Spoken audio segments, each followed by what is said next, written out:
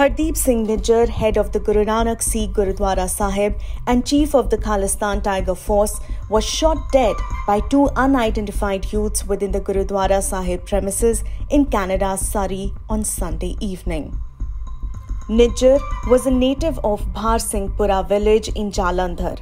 According to the Union government, he was known to be actively involved in operationalizing, networking, training, and financing members of the Khalistan Tiger Force.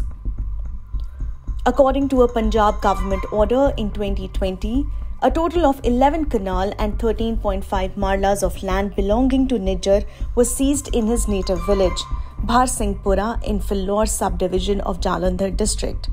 A villager mentioned that Hardeep's family had migrated a long time ago, but his parents frequently visit the village and had last done so before the lockdown. A panchayat member of the village shared that Hardeep's father has four brothers, and together they own approximately 8 acres of land. Hardeep received a portion of land from his father's unmarried uncle, who had given around 5.5 acres to Hardeep and his siblings. The villagers said they had not seen Hardeep in the village for several years. Hardeep Singh Nijjar was accused in a case registered by the National Investigation Agency.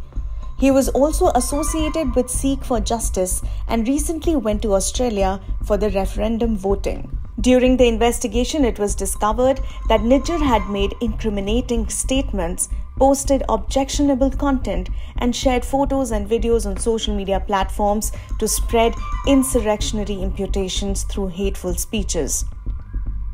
A document from the NIA read, quote unquote, the incriminating evidence thus gathered substantiates that he is involved in exhorting seditionary and insurrectionary imputations and also attempting to create disharmony among different communities in India. Hardeep's name had been included in the wanted list handed over to then Punjab Chief Minister Captain Amrinder Singh to Canadian Prime Minister Justin Trudeau during the latter's visit to India in 2018.